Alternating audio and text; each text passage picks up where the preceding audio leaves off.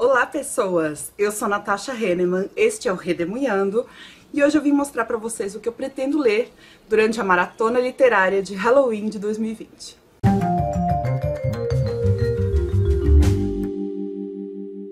Pois é, este ano teremos maratona literária de Halloween, promovida pela Mel, do canal Mel, Tea with Mel, mudou o nome do canal dela, e outras pessoas incríveis, maravilhosas também estarão oficialmente promovendo essa maratona, como a Dessa do canal Louca dos Livros, a Bárbara do canal B de Barbárie, a Pati do canal Patrícia Lima, o Christian do canal Christian Assunção, a Maria do canal Xícara Quente, entre outras pessoas. Se você quiser saber todo mundo que está participando oficialmente, qual é a duração e quais são os desafios e tudo mais que vai ter, vão lá assistir o vídeo da Mel de apresentação da maratona, tá aí no box de descrição o link para esse vídeo. E além dos desafios literários, terão desafios de filmes, desafios fotográficos, então é uma maratona super completa. Particularmente eu vou participar mais da parte literária mesmo. Vocês sabem que não é muito a minha vibe, livros de terror, de horror. Então eu acabei me inscrevendo para o time Gostosuras e Travessuras, porque existe o time só Travessuras, o time Gostosuras e o time Gostosuras e Travessuras. Inicialmente eu tinha me inscrito no Travessuras, mas eu acho que não tem nada a ver comigo, então eu fui no meio a meio, porque na verdade eu, vou, eu pretendo ler coisinhas de terror mas eu não sei se são, sei lá, consideradas um terror que dá muito medo, sabe? Porque o time Travessuras é esse terror que dá muito medo. Enfim, eu só vou saber depois de ler. E essa maratona vai durar todo o mês de outubro, então eu vim aqui no primeiro dia do mês contar para vocês o que eu pretendo ler. A minha prioridade é finalizar as leituras que eu já estou fazendo, que não tem a ver com a maratona. Mas, durante esse mês de outubro, eu gostaria de continuar a minha leitura de Drácula, do Bram Stoker, pela editora Companhia das Letras. A tradução é do José Francisco Botelho. E eu já comecei essa leitura, gostei, estou gostando bastante. Estou ali por volta da página 130, na página, vai, vou começar a página 131 e o livro tem 600, mais de 600 páginas. E eu ainda preciso voltar para ler o prefácio que eu pulei, porque geralmente as edições da Penguin têm spoilers no prefácio. Mas esse aqui vai entrar em várias categorias. O, a Mel e o pessoal que está promovendo a maratona fizeram um bingo literário para você ir marcando é, quais categorias os seus livros se encaixam. E o Drácula entra na categoria Fantasmas, Espíritos e Entidades. Drácula é uma entidade, ele é um vampiro. Thriller, que eu considerei no sentido de ser um livro de mistério, e esse clima está muito presente aqui nesse livro. Gótico, clássico e virou filme.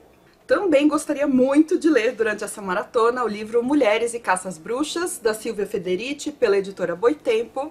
A tradução é da Essi Regina Candiani, que acompanha o canal, o meu Instagram também. E eu amo as traduções da Essi. Então eu quero ler esse livro. Eu tenho visto muita gente ler esse livro na minha timeline. Não sei o que aconteceu ultimamente para as pessoas resolverem pegar esse livro, embora ele seja um livro recente. E a autora é sensacional, é a mesma autora de Caliban e a Bruxa que eu li, amei. A, trouxe muita informação nova para eu pensar a respeito das mulheres, da transição do feudalismo para o capitalismo. E pelo que eu entendi, esse livro é um, ou uma introdução ao Caliban e a Bruxa, ou uma espécie de retomada de vários temas que ela faz naquele livro, que é um livro bem denso. E esse aqui parece, parece não, com certeza é mais curto, tem uma diagramação é, com uma margem maior, uma fonte maior, então deve ser mais rápido de ler do que Caliban e a Bruxa. O meu único porém de começar a ler esse livro é que eu quero terminar o livro de não ficção que eu estou lendo, que é A Razão Africana, e tá dando um trabalhinho para eu ler esse livro. Então vamos ver se eu consigo terminar a tempo de ler durante a maratona. Esse aqui se encaixa nas categorias Autora Mulher, baseado em histórias reais, Bruxas e Feitiçaria e não ficção. A terceira leitura que eu quero fazer durante a maratona é A Menina do Capuz Vermelho e Outras Histórias de Dar Medo, da, organizado pela Angela Carter, pela Penguin Companhia. A tradução é do Luciano Vieira Machado e é uma reunião de contos eh, escritos nos últimos 200 ou 300 anos. Então se baseia nos contos de fadas, aqueles mais antigos. Esse livro quem me enviou gentilmente de presente foi a Ilmara do canal do canal não, do Instagram, arroba Conversa de Livro. Ela soube que esse livro estava na minha lista de desejos já faz algum tempo, mais de um ano. E é um livro curto, deixa eu ver, ele tem 130 e poucas páginas, quase 140 páginas. E esse aqui eu vou enquadrar nas categorias autora mulher, que na verdade é organizadora, que é mulher, contos e terror com crianças, que eu acho que alguns contos aqui vão envolver crianças, como a menina do capuz vermelho, por exemplo. E finalmente, mas não menos importante, pretendo ler durante essa maratona um e-book chamado Cantigas no Escuro, cujas autoras são a Emily de Moura, Iris Figueiredo, Laura Paul, Gabriela Martins, Jana Pebianchi e Solane Chioro. É um livro de contos de autoras nacionais e eu conheço a Jana, amo as coisas que ela escreve, eu acho ela super criativa, ela é voltada para ficção especulativa nacional. Então ela escreveu, por exemplo, um livro chamado Lobo de Rua, em que ela narra é, a história de um lobisomem, mas que é um menino de rua na cidade de São Paulo. Ela traz para o Brasil esse tipo de, de fantasia que a gente costuma ver bastante em histórias estrangeiras. E eu imagino que as outras meninas também tenham essa pegada. Cantigas no escuro. É, a ideia desse livro é atualizar cantigas de roda de formas meio sombrias, sabe? Meio misteriosas. Então, super a ver com Halloween. E as categorias em que eu vou encaixar esse livro é contos, terror nacional, autora mulher, várias. E aí eu perguntei pra Jana, quais dessas outras categorias você acha que esse livro se encaixa?